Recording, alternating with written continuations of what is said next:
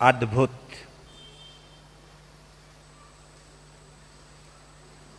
बाहर कुदरत की बारिश है। अंदर जिनवानी की बारिश है। अंदर प्रभु वाणी बरस रही है।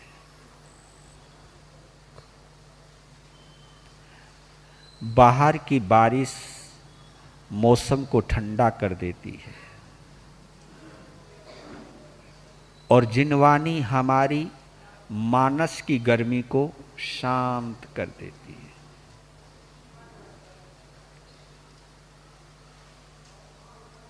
इसीलिए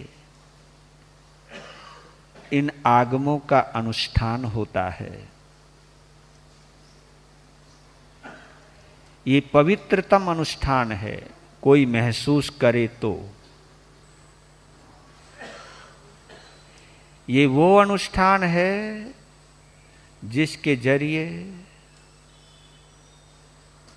आपकी आत्मा में परम तृप्ति आ सकती है।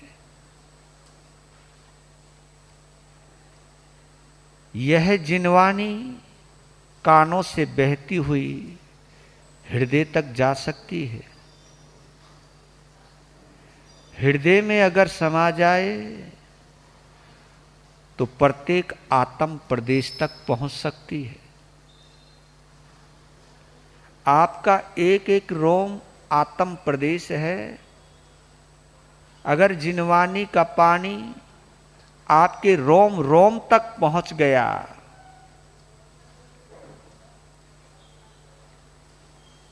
तो आपकी जीवन की चादर निर्मल हो जाएगी।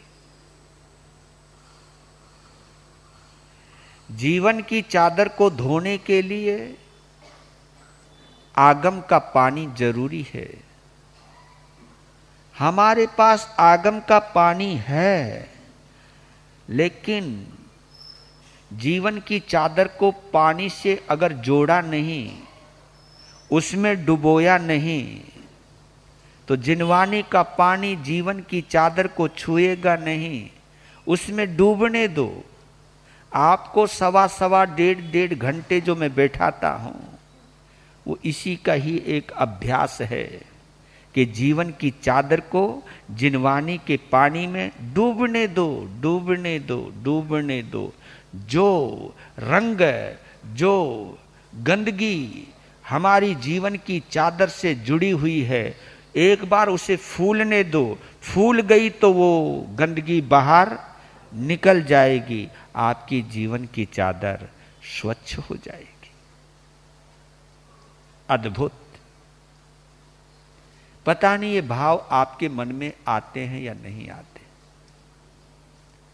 यहाँ केवल सुनने के लिए नहीं, डूबने के लिए आना है। जीवन की चादर को डुबोना है, मानस को पावन बनाना है। जीवन की चादर पर लगे दागों को धोना है। अठारह पापों के माध्यम से हमारी जीवन की चादर पर जितने भी दाग लगे हैं, उन दागों को धोने का एकमात्र स्थान यही है।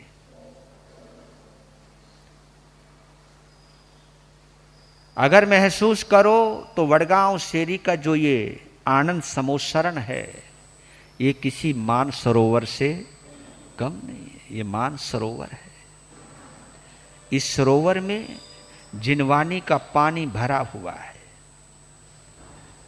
आगम का पानी भरा हुआ है।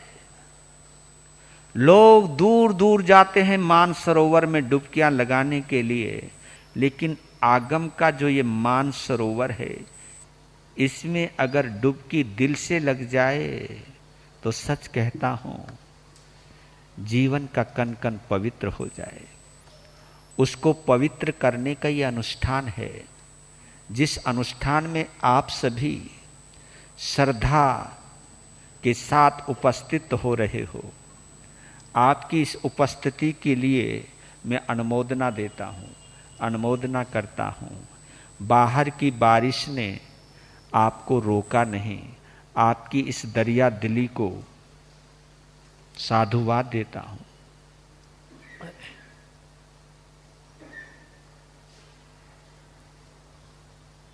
दुनिया के बंधनों को तोड़कर जो यहाँ आने की सोचता है, उसी में ही कल्याण हो जाता है कि नहीं, मुझे वहाँ जाना है।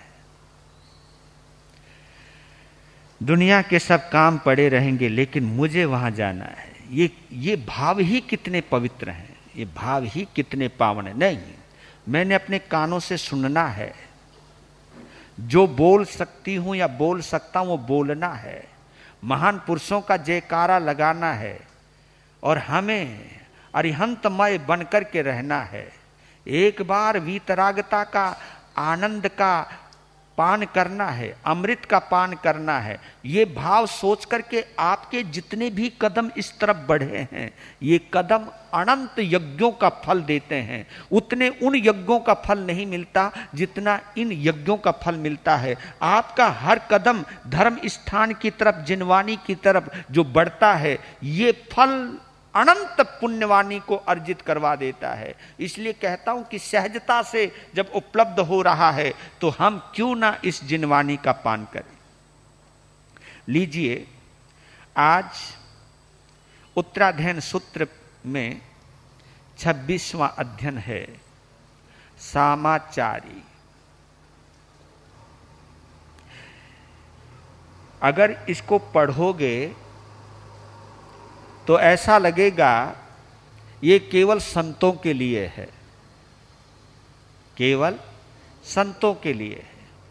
लेकिन ये मत समझना, ये केवल संतों के लिए ही है। अगर आप चाहो तो आप भी गृहस्थी में रह करके यथाशक्ति इसकी पालना कर सकते हैं। हाँ आप भी गृहस्थ में रहते हुए और इन चीज़ों की पालना करते हुए आप भी साधुत्व का आनंद ले सकते हो।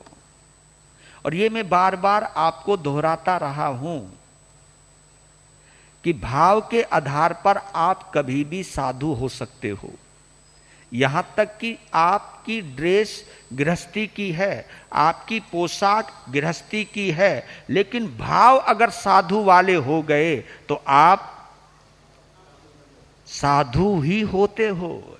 मैंने ये बाना पहन रखा है और दुनिया के आकर्षण से मैं जुड़ गया तो इस बाने को पहने हुए भी मैं गृहस्थी हूँ।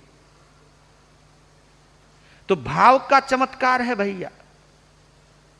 भाव के ज़रिए आप घर में रहते हुए भी साधु बन सकते हो। और भाव के ज़रिए मैं स्थानक में रहते हुए भी गृहस्थी बन सकता हूँ। और ये जो आगम है हमको, चेताने के लिए हैं, समझाने के लिए हैं, बहलाने के लिए नहीं है, सुलाने के लिए नहीं है, समझाने के लिए है, ये जगाने के लिए चार लाइनें और आज गाते गाते ही आनंद लेते हैं।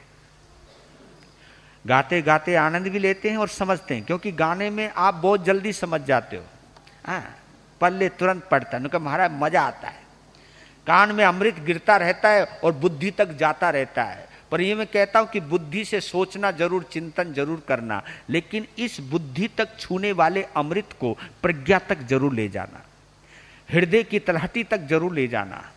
क्योंकि एक बात कहता हूँ कि वृक्षों के पत्तों को सींचने से कुछ नहीं होगा। पानी जब जड़ों तक जाएगा, तभी वृक्ष हरे भरे रहते हैं। ये हमारा पत्ते हैं, पत्ते। ऊपर से कितने ही डालते रहो, लेकिन जो हृदय है, जिसको हम मनोभूमि कहते हैं, वहाँ तक इस जिनवानी के पानी को जाने दो। हाँ।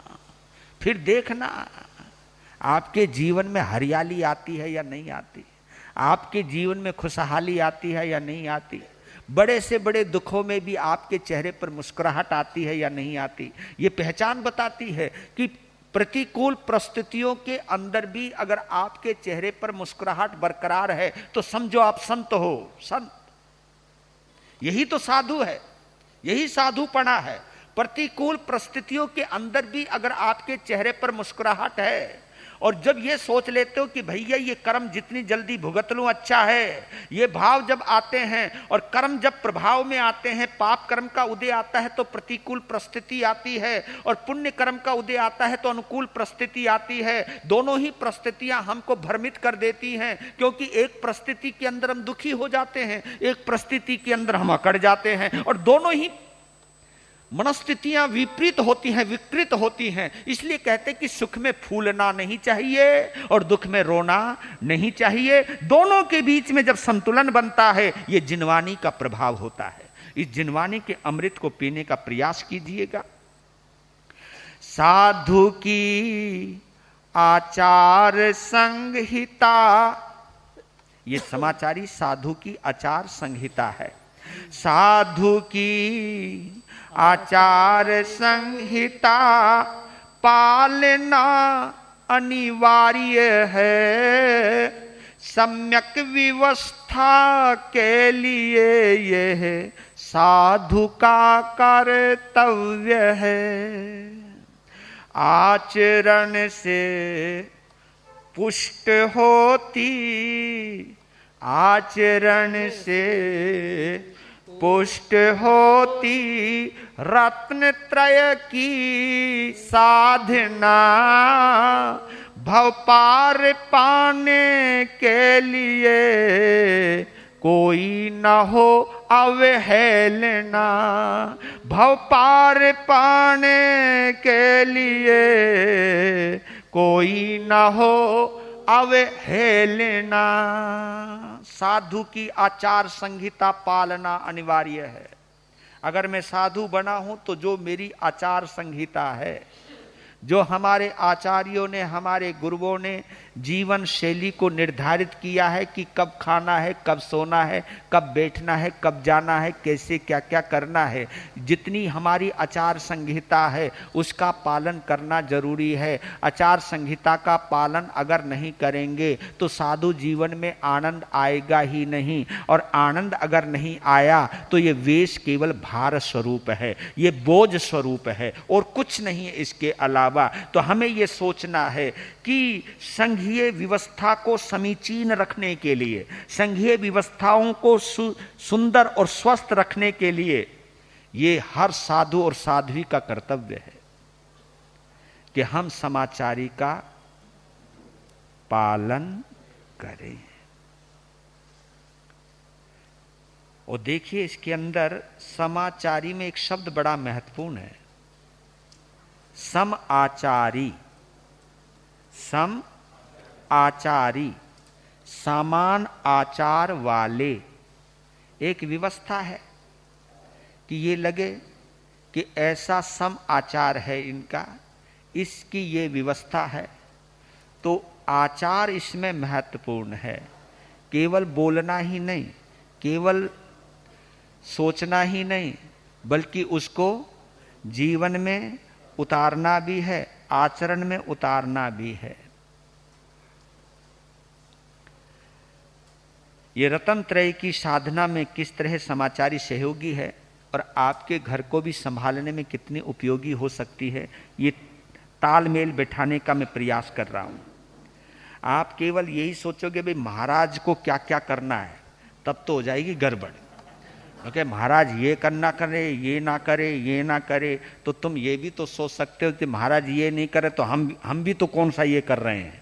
तब जब मिलान बैठाओगे ना तो हम संतों से शिक्षा भी मिलती है और ये भी हो सकता है आपके स्वच्छ और आदर्श जीवन को देखकर किसी भी संत के जीवन में प्रेरणा आ सकती है। ये भी तो आ सकता है कि गृहस्थी होकर के भी इतना व्यवस्थित रहता है, इतना मर्यादित रहता है, इतना संयमित रहता है। मैं संत होकर के क्यों नहीं रहता हूँ? आपसे हमें प्रेरणा मिलती है और हमसे आपको प्रेरणा मिलती है। तभी तो आपको भाव तीर्थ का हिस्सेदारी मिली हुई है। आप भी चतुर्विद संघ का हिस्सा हैं। आप भी हमारे साथी हो, हमारे सहयोगी हो, हमारे लिए केवल हम ही आपकी प्रेरणा नहीं है, आप भी हमारे लिए प्रेरणा बन सकते हो। ये भगवान ने बड़ी सुंदर व्यवस्था दी है संघ के अंदर कि श्रावक संत के लिए, साधु श्रावक के लिए प्रेरणा बन सकता है, सहयोगी बन सकता है। हम आपको कुछ सिखा सकते हैं, आप हमको कुछ दे सकते हो। आप हमें सम्मान देते हो और हम भी आपको समाज में सम्मान सम्मान की, ज़िंदगी जीने की प्रेरणा देते हैं,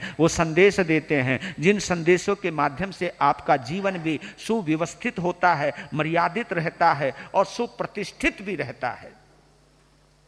वीर प्रभु के अंतिम सुन लो और सुना लो। जीवन धन बना लो। जीवन।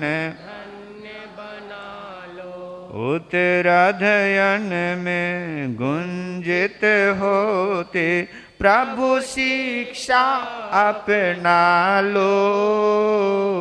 जीवन धन्य बना लो। जीवन चार लाइनों के अंदर समाचारी का क्या प्रयोजन है, ये संदेश दे रहे हैं। कथन करूँगा उस चरिया का। दुखों से जो दे मुक्ति, निग्रंथ मुनि प्रतिपालन कर भव। पार करण की है युक्ति। मुनि जन का व्यवहार रोपिए मुनि जन का व्यवहार रोपिए समाचारी को पालो। जीवन धन्य बना लो। जीवन मुनि जन का व्यवहार रूपी समाचारी को पालो। इससे एक बात समझना कि हमारा हो या तुम्हारी हो, ज़िंदगी दो हिस्सों में बटी हुई है। एक जीवन होता है व्यक्तिगत और एक जीवन होता है व्यवहारगत, समाजगत, सामुदायिक जिसको हम बोलते हैं। व्यक्तिगत मेरी सोच क्या है? ये मेरी सोच है। मैं अंदर क्या सोच रहा हूँ? ये मेरी व्यक्तिगत सोच है। किसी के बारे में मैं क्या सोच रहा हूँ, ये मेरी व्यक्तिगत सोच है। व्यक्तिगत मैं संत हूँ या नहीं हूँ, ये मेरी अंदर की सोच है। आप मुझे नहीं जानते हो कि मैं कितनी मात्रा में साधु हूँ, कितनी मात्रा में नहीं हूँ, क्योंकि ये मेरा अंतर का मामला है। लेकिन मैं साधु हूँ या नहीं, उसको समझने के लिए समाज को व्यवहार रूप दिखाई पड़ता है। क्योंकि कभी कभी ऐसा भी हो सकता है कि मैं अंदर से साधु ना रहूँ, आप अंदर से श्रावक ना रहें, लेकिन व्यवहार से आप श्रावक और हम साधु नज़र आते हैं। उसका भी प्रभाव पड़ता है। उसका भी प्रभाव पड़ता है। देखने वाले के ऊपर व्यवहार का प्रभाव पड़ता ही है। तो ये जो समाचारी बनाई गई है, ये आत्म दृष्टि से तो बना ही बनाई गई, लेकिन व्यक्तिगत दृष्टि से नहीं बनाई गई है। यह समाचारी है, सामुदायिक दृष्टि से, संघीय दृष्टि से, समुदाय की दृष्टि से समाचारी बनाई गई है। क्योंकि एक ही समाचारी की पालना करने वाले, एक जैसी समाचारी की पालना करने वाले अनेकों साधु साध्वी हो सकते हैं, लेकिन एक जैसे भाव रखने वाले तो सभी नहीं हो सकते। समाचारी एक, लेकिन भाव सभी के तो जो भाव है वो व्यक्तिगत है, जो आचार है वो समाजगत है, वो सामुदायिक है। विचार मेरे पर्सनल हो सकते हैं, लेकिन आचार मेरी समाज की बपोती है। मेरी समाज की संपदा है, और समाज से मुझे जुड़ना है, मैंने अपनी जो एक पहचान बनानी है, संघ की जो पहचान बनानी है, वो मेरी समाचारी बनाती है। इसलिए समाचारी सामुदायिक होती है, ना कि व्यक्तिगत होती है। वीर प्रभु के अंतिम। सुन लो और सुना लो, जीवन धन्य बना लो, जीवन धन्य बना अब समाचारी के कितने प्रकार हैं सुनिए? परियोजन से ही बाहर जाए। करे अवश्यम वाचन। निवृत्त हो कर जब लोटे तो करे निशी हिम वाचन। लक्ष्य चेतना रहे गमन में, लक्ष्य चेतना रहे गमन में, इसका ध्यान रखा लो, जीवन धन्य बना लो, जीवन धन्य जब साधु अपने स्थान से बाहर जाए तो ये कहता हुआ जाए अवश्य ही क्योंकि इतने सारे साधु बैठे हैं, उनमें से कोई संत उठ करके गया है तो उसकी तरफ़ अगर वो बिना बोले जाए तो सोचे भाई ये क्यों जा रहा है? किस लिए जा रहा है? क्या मतलब है? ये क्यों घूम रहा है? पर लेकिन अगर उसने ये बोल दिया अवश्य ही अवश्य ही यानी इसका मतलब ये हुआ कि मैं किसी आवश्यक काम के लिए जा रहा हूँ। जाता अवश्य ही अवश्य ही कहे, और आता निश्चय ही निश्चय ही निश्चय ही जब आए तो कहे निश्चय ही यानी जिस कार्य के लिए मैं गया था, उस कार्य को संपन्न करके, यानी जावे तो भी पूछे, आए तो भी बताए। ऐसा नहीं, चुपचाप निकल जाए और चुपचाप घुस जाए। और ये घर का भी नियम हो सकता है। आप लोग भी इस नियम को घर के अंदर लागू कर सकते हो या नहीं कर सकते? आराम से कर सकते हो। आप अवश्य ही अवश्य ही नहीं बोल सकते। लेकिन ये तो कह सकते हो अच्छा जी, मैं इस काम के लिए जा रहा हूँ। आओ तो जय जिनेन्द्र के साथ मैं आ गया हूँ। यानी ये बड़ों का भी सम्मान हुआ और परंपरा का भी सम्मान हुआ, खानदान का भी सम्मान हुआ। और ये होना चाहिए। और ये टूटने लगा है, टूटने लगा है ये कर्म। क्योंकि किस लिए टूटा है? पहले हमने देखा है, घरों के अंदर, मेन दरवाजे पर चौखट हुआ करती थी, दरवाजे के पास ही एक तख्त हुआ करता था, उसमें कोई ना कोई हमारा बुज़ुर्ग हाँ बैठा रहता था। अब कौन जा रहा है, कौन आ रहा है, उसका हिसाब किताब उनके पास, भाई, इससे बढ़िया कोई सीसी कैमरा हो भी नहीं सकता। पर लेकिन अब करें क्या? अब ये कैमरा खत्म हो गया है, अब घर में कोई बुज़ुर्ग तो रहे नहीं। बस, और ऊपर से चौखट और निकाल दी। वो जो दहलीज होती थी, चौख, पहले चौखट तभी होती थी वो। ये ये ये तीन खट है। चौखट तो वो दहली जिसको हम कहते दहली, जिसको लांगते थे। लांगने से पहले सो बार सोचते थे। अब तो मामला साफ़ सटा सट आओ और जाओ। अब तो दरवाजे के ऊपर भी वो स्पेशल मशीन लगी हुई है। दरवाजे अपने आप अपने आप, नहीं, अपने आप खुलते नहीं है। हाँ। धक्का मार के खोलना पड़ता, तुरंत बंद हो जाता है। तो ये तो जाते, ये आप भी और हम भी, संतों को भी सोचना चाहिए कि अवश्य ही अवश्य ही और निश्चय ही निश्चय ही। ये समाचारी के दो प्रकार अभी यहाँ पे आए। वीर प्रभु के अंतिम सुन लो सुना लो जीवन धन्य बना लो जीवन धन्य बना लो गुरु आज्ञा से करे प्रवृत्ति, इसको आप पृछा कहते पर करण करे आज्ञा से, उसको प्रतिपृच्छा कहते। निरुद्देश्य नहीं आए जाए, निरुद्देश्य नहीं आए जाए, इसकी आदत डालो, जीवन धन्य बना लो। जीवन धन्य बना ले। तो जब हम बैठते हैं तो गुरु, मैंने ये काम करना, मैं ये काम करना है।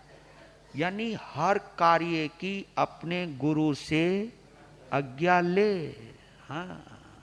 चाहे स्वाध्याय करना हो, चाहे प्रतिलेखना करनी हो, चाहे कुछ भी करनी हो, पहले गुरु को वंदना करे, वहाँ जाए तिखुत्तों से वंदना करे और उनसे आज्ञा ले अपने लिए, जो खुद करने हैं। जो खुद करने की आज्ञा ली जाती है, उसको आप कहते हैं, आप यानी अपने लिए पूछना, क्या मैं गुरु जी ये काम कर लूँ? क्या मैं कपड़े धो लूँ? क्या मैं पढ़ी लेना कर लूँ? क्या मैं स्वाध्याय कर लूँ? यानी अपने काम करने के लिए पूछना, आप परीक्षा है, और अपने सहयोगी मुनिराज साधु साधियों के लिए पूछना, क्या मैं इनका काम कर दूँ? इन्होंने इन्होंने ये काम बोला है, क्या मैं ये काम कर दूँ इनका? दूसरे के लिए पूछना प्रति परीक्षा है। आप परीक्षा और प्रति परीक्षा और ये काम आप भी अपने घर में लागू, हैं?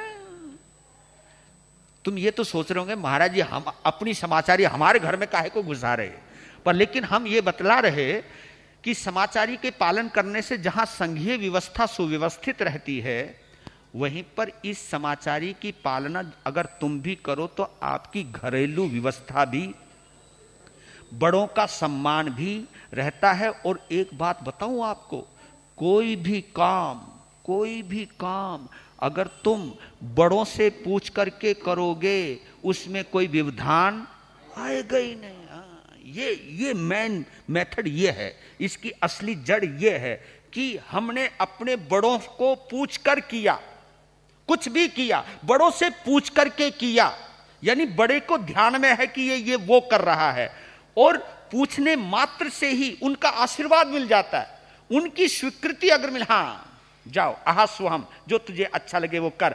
उनकी स्वीकृति मिलते ही काम में जो बाधा आने वाली है, वो काम, अगर हम ये सोच ले कि मैं बड़ों की इजाज़त के बिना भी ये काम कर सकता हूँ, कर तो लेगा, लेकिन व्यवधान आने की 90 परसेंट संभावना उसके अंदर रहती ही रहती है। तो बड़ों का सम्मान जहाँ नहीं होगा, वहाँ पर आपके काम में व्यवधान इसलिए आप लोग अपने अपने घरों में बड़े छुप छुप के काम करते हो है ना? किसी को पता ना चल जाए मैंने कितना बचा रखा है हैं? मैं कितना जमा कर रहा है।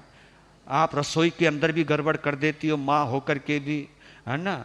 और इकट्ठी ज्वाइंट फैमिली है मारो पति आने वालों है जरा ए, हाँ हाँ वही वही वही। जरा दाल के अंदर घी जरा फालतू डाल दे। अरे दूसरे को देना वैसे दे दो तो क्या जाता है? ये जब तुम वहाँ पर भी इस तरह का कोई काम करते हो तो वहाँ पर दो भात होती है। ये दुर, दुराव होता है और ये दुराव कहीं ना कहीं आपके पुण्य को कहीं ना कहीं छीन करता है कम करता है। अगर पुण्यवाणी को अगर तुम बढ़ाना चाहते हो घर में रहते हुए यदि आप पुण्यवाणी को बढ़ा सकते हो दूसरों का मान और सम्मान रखते हुए दूसरों को पूछते हुए, यहाँ तक कि मैं बड़ा हूँ संत बड़ा होने के बावजूद भी मैं अगर जाऊँ तो अपने छोटों को बता के जाऊँ कि बेटा मैं वहाँ जा रहा हूँ, ताकि उनको भी पता रहे, वो भी कह सके, आने वाले को गुरुजी इतना समय लगेगा, यहाँ पर गए हैं। यानी ये व्यवस्था छोटे और बड़ों के लिए नहीं, हर किसी के लिए है। ये जब गुरु जाए तो वो भी बोले आवश्य ही आवश्य आवे तो वो भी बोले, निश्चय निश्चय। ये नियम ही है, ये हर किसी के लिए है। यहाँ पर कोई छोट बड़ाई नहीं है, यहाँ पर सम्मान की भावना है। वीर प्रभु की। सुन लो और सुना लो जीवन। भिक्षा में जो प्राप्त हुए हैं, भिक्षा में जो प्राप्त हुए हैं, दूजों को दे आमंत्रण। लाने को जाए तब पूछे, क्या लाऊं मैं मुनिगण? इसे छंदना बतलाया है, इसे छंदना बतलाया है। शिष्ट भाव अपना लो जीवन। जीवन धन्य बना लो वीर प्रभु की। सुन लो, सुना लो जीवन जब साधु भिक्षा के लिए जाए, गोचरी के लिए जाए तो अगर लेकर के आया है तो सबसे जिनका उपवास भी क्यों ना हो, उनको भी दिखाना चाहिए। और एक संत पहले एक शब्द बोला करता था, साहू हुज्जामी तारियो। साहू हुज्जामी तारियो, हे मेरे गुरु भगवंतों, पधारो और देखो। वो दिखाने का क्यों भाव था? दिखाने का इसलिए भाव था, कोई ऐसी चीज़ तो नहीं आई जो अकल्पनीय थी। वो तो नहीं लेकर के आया। तो भिक्षा लेकर के आए तो बुलाए सभी को। यू नहीं कि फटाफट माल अकेला ही खा जावे। ये संतों का, संतों के लिए स्पेशल है कि भाई, गुरु महाराज अभी पाठ कर रहे हैं, बढ़िया माल है, अब रहा जा नहीं रहा, बहुत देर हो जाएगी, चलो मैं खिसका लेता हूँ। ना ना ना ना, दूजों को, यानी दूसरों को दिखाए। लाने वाले ये तपस्या गोचरी की ऐसी नहीं बन जाती। भिक्षाचरी को तप ऐसे ही नहीं बोला है। जहाँ शुद्ध भावना से जाना है, और ये भी कहा कि जाते वक्त ये भी पूछे कि किसको क्या क्या खपे, किसको क्या क्या लगे। आप कह सकते हो कि ये कोई ज़रूरी है, जो खपने वाला वही मिलेगा। पर लेकिन ये भी तो हो सकता है, जो बोला गया शायद वो मिल जाए, और वो मिल जाए तो वो लेकर के इसे हम छंदना कहते छंदना। छंदना, यानी दूसरे की चिंता करना, ये अपने आप में, और ये काम आप भी हाँ। आप भी इस नियम को घर में लागू कर सकते हो। इसको अपनी घर की समाचारी में डाल सकते हो। आपका घर स्वर्ग बन जाएगा, सच कह रहा हूँ। आपके घर में भी स्वर्ग उतर आएगा। जिस आनंद में हम रहते हैं ना, उस आनंद में आप भी रह सकते हो। जहाँ छुपाव है, दुराव है, वो रिश्ते वहाँ पर टूटने शुरू हो जाते हैं और जहाँ एक दूसरे का सम्मान है, दूसरे के प्रति उत्तम भाव हैं कि ये चीज़ उसके लिए अच्छी रहेगी। बेशक से मिली मुझको है, लेकिन उसको देता हूँ। सबसे पहले उसको पूछता हूँ। एक तो ये पता चल गया कि चीज़ के साथ आपको दूसरे की भी कीमत का पता है। दूसरे के बारे में सोच रहे हो आप। कम से कम आप स्वार्थी तो हाँ। स्वार्थी व्यक्ति अपनी सोचता है, लेकिन जो स्वार्थी नहीं होता सेवा भावी होता है, संत हृदय जैसा होता है, वो दूसरों की सोचता है। और दूसरे की सोचने मात्र से आप साधु बन जाते हो। दूसरों की सोचने मात्र से आपके अंदर साधु भाव आ जाते हैं। जाने इच्छा अन्य साधु की तदन रूप सेवा करना अथवा काम कराना, उनसे इच्छा कार बरतना। अनुग्रह हो आपस में सबके संगीय जीवन पालो, जीवन धन्य बना लो, जीवन धन्य बना लो, वीर प्रभु की अंतिम वाणी। और सुना लो, जीवन धन्य बना लो, जीवन। अगर किसी साधु को किसी से भी काम कराना है तो पहले ये देखो कि तेरी ये काम करने की इच्छा है या नहीं। पहला तो ये। दूसरा, अगर कोई काम करना है तो गुरु से ये कहे कि ये काम मैं कर सकता हूँ। इसकी इच्छा है, ये काम मैं कर सकता हूँ। इसको हमारे इच्छाकार समाचारी कहती है कि इच्छाकार इसको कहते हैं कि इससे क्या होता है, एक दूसरे के साथ हम जब संयोजन करते हैं, नियोजन करते हैं, एक दूसरे के काम में आते हैं तो इससे क्या होता है, अनुग्रह बढ़ता है। एक दूसरे के प्रति प्रेम बढ़ता है और प्रेम ही स्वर्ग में बदल जाता है। और दूसरी बात अगर कोई हमसे चूक हो जाए, क्योंकि समय हो रहा है कि इसको थोड़ा समेट देता हूँ, प्रमादवश कोई चूक हो तो मिच्छा दुकड़म कहना। अगर प्रमादवश, गलती से हाँ ये निश्चय है यहाँ पर, प्रमादवश प्रमादवश यानी गलती से कोई गलती हुई है, बोलने में कोई चूक हुई है, चीज़ रखने में कोई चीज़ हुई है, जो मैंने कुछ बताया नहीं, बिना कुछ कुछ बताए कुछ काम भी किया है, कुछ भी भूल हुई है तो उसका हमारे यहाँ एक बहुत बड़ा सॉल्यूशन है। मिच्छामी देख कमाल है ना? गलती करना मनुष्य का स्वभाव है। गलती हो सकती है लेकिन गलती को स्वीकार करना और गलती को स्वीकार करके सामने वाले से माफ़ी मांगना मिच्छा में दुकड़म मिच्छा में दुकड़म कहते ही पाप खत्म। हाँ, इतना आसान रास्ता भगवान ने बताया कि गलतियाँ आपसे हो जाएँगी गलती गलतियों से गलतियाँ हो जाती हैं भूल से गलतियाँ हो जाती हैं पर लेकिन इसका एक ही है कि अगर गलती हुई है तो मिच्छामी दुकड़म। मेरे से भूल हो गई। बोलने में मैं संतुलित नहीं रह पाया। मैंने आपकी ये चीज़ यहाँ रख दी। मैं ये चीज़ नहीं ला पाया। मैं आपका ये काम नहीं कर पाया। मैं प्रमाद में चला गया था। इसके लिए मैं हार्दिक क्षमा याचना करता हूँ। इसको मिथ्याकार समाचारी भी कहते हैं। अपनी निंदा करना इसके अंदर। मिच्छामी का मतलब होता है अपनी, क्योंकि गलती स्वीकार करोगे नहीं तो मिच्छा में दुकड़म आएगा कहाँ से? मिच्छा में दुकड़म तभी आ सकता जब हम अपनी गलती, क्योंकि कई लोग तो अपनी गलती मानने को तैयारी नहीं। नहीं, हम और गलती का क्या मतलब है? आपके समझने में गलती हो रही है। सामने वाले को बोल रहा है, आपके समझने में गलती हो रही है। मैंने कोई गलती नहीं करी। ये अहंकार की वृत्ति है। लेकिन गलती हो गई है तो उसे सहजता से स्वीकार कर लेना और अपने दोषों को हम निकाल सकते हैं। और दूसरा, गुरुवर जब कभी बुलाएँ, ए, साधु को संकेत करके, गुरानी साध्वी को संकेत करके बुलाए कि इधर आओ, तहत, ये काम करो तहती एक, हमारे यहाँ एक बड़ा अच्छा शब्द है। तहती वैसे तथा तथाती बोलते इसको तथाती तो इसका मतलब ये होता जैसा आपने कहा, वैसा ही होगा तहती जो आपने फरमाया, वो सही है, तहत तहत। श्रावक जी, समाय करने तहत गुरुदेव। हाँ। ये तुम भी कर लिया करो। बहू को अगर सास के, ए बहू, ये काम कर दे, तहत। आप आप कह सकते हो, जी, ये तहत शब्द घर में कहाँ के घुसा रहे हम नहीं पर लेकिन ऐसा अर्थ तो तुम समझ, जी माँ जी ये भी तो कह सकते हो। जी, मैं अभी करती हूँ। यानी मना नहीं करना। जो भी काम करने को बोला, उसको स्वीकार करना, इसको हमारे यहाँ तथाकार बोलते तथाकार समाचारी।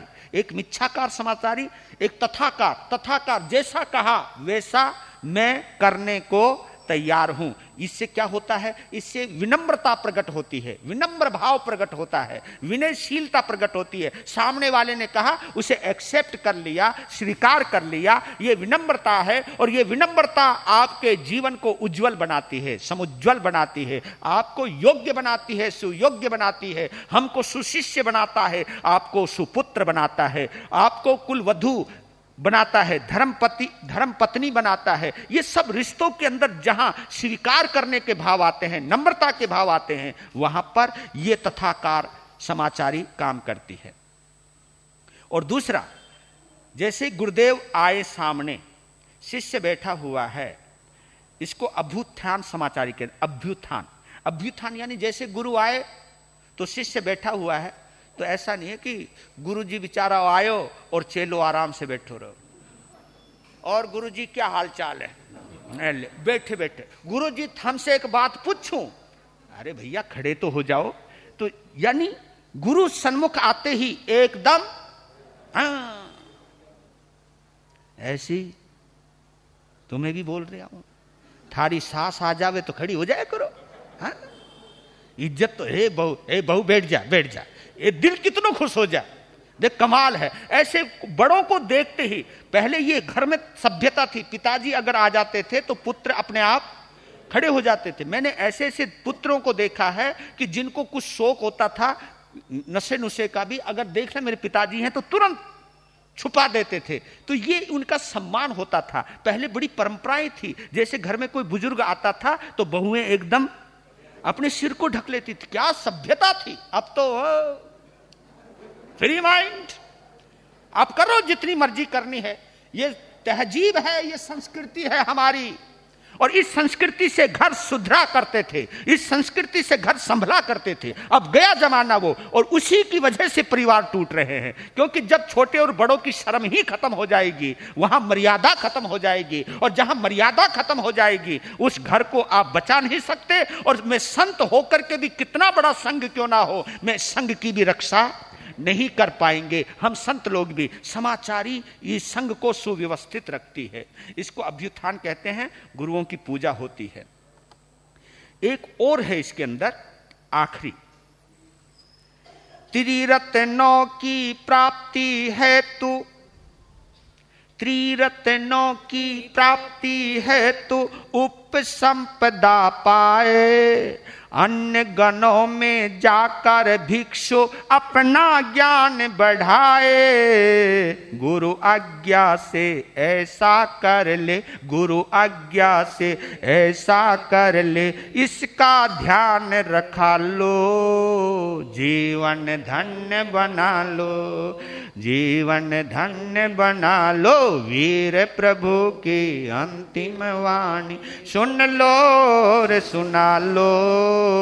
जीवन धन्य बना लो, जीवन। ये दसवीं समाचारी है उप संपदा जैसे कि